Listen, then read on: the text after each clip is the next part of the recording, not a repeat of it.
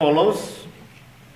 So then you are no longer strangers and aliens, but you are fellow citizens with the saints, who are the saints of the church. And are of God's household. What is God's household? We read already. It is the church. that is talking about the church here. Having been built on the foundation of the apostles. Therefore, the true church has to be able to trace self its origin back to the apostles. Because according to this verse, the true church is built upon the foundation of the apostles.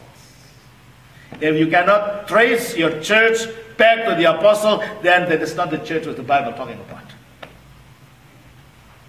If you can trace only up to Calvin, or up to Luther, or up to whatever founders you have, not to the apostle, directly with the apostle, then that is not what the Bible is talking about. Because the real church, the true church, has the foundation of the apostle. Okay? Being built upon the foundation of the apostles and prophets, Christ Jesus himself being the cornerstone, of course. This is the content of the church. This is the one that has to be preached by the church. And then, in whom the whole building, we are, we are likened as a building. The whole building being fitted together. So that's why there are bishops, there are priests, there are deacons, there are people working together. We are being fitted together as building. Okay? Is growing into a holy temple in the Lord, in whom you also, we individually, are being built together into a dwelling of God in the Spirit. Therefore, our building up in the faith, our building up in salvation cannot be separated from the church. We are being built up together as temple in the life of the church because the Holy Spirit lives in the church.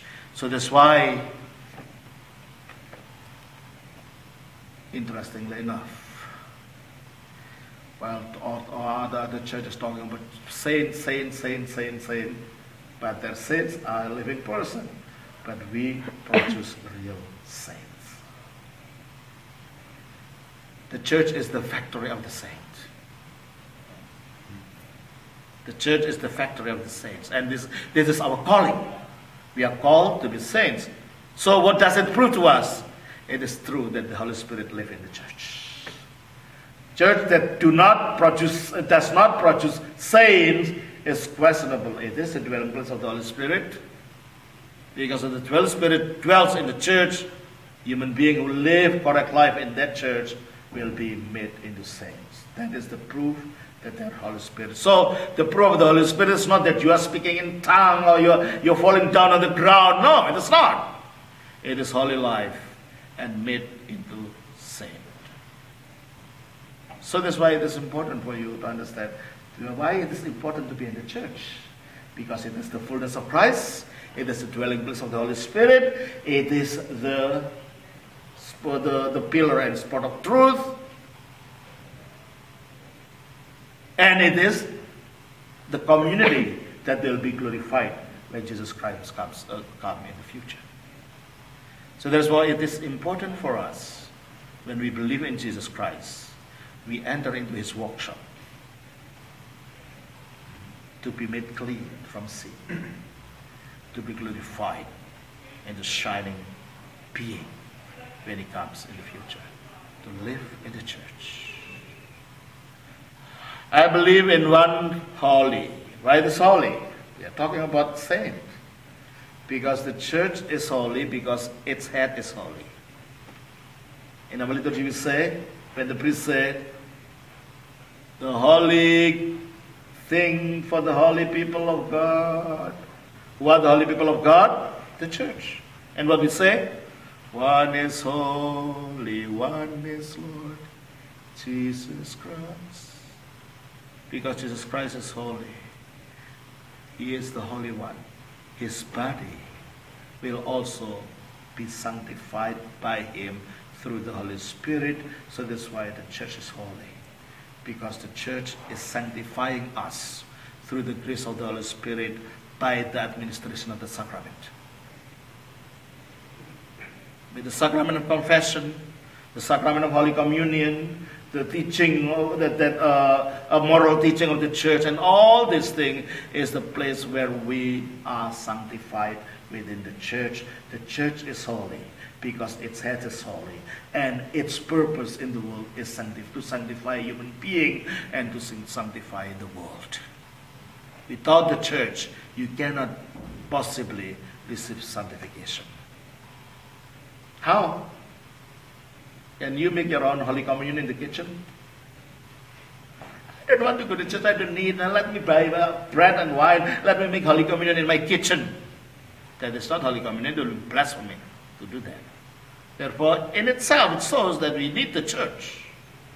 I don't need to confess uh, to, to anyone. Let me confess in front of the icon. Can the icon give you absolution? No. You need to go to the priest.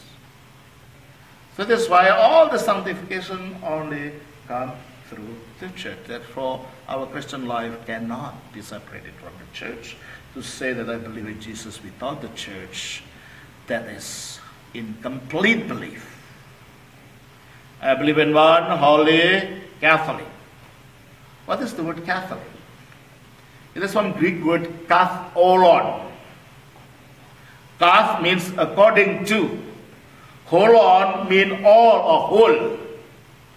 So that's mean the teaching of the Orthodox Church, the, this one church, the Church of Christ, is according to the wholeness of the truth. It's lacking nothing. Because how can it be lacking something if it is the fullness of Christ? If something lack in the church, then why there's not fullness anymore? So because the fullness of Christ is in the church, it's lacking nothing. Full of grace, full of truth in the church. Therefore it lacks nothing. So that's why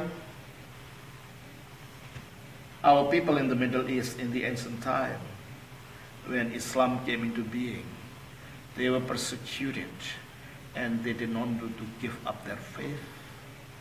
The church still keep their stand there. Why? Knowing after Jesus there is no other prophet. Because the fullness is in the church. Jesus is the last prophet. How can you say that? Hebrew chapter 1.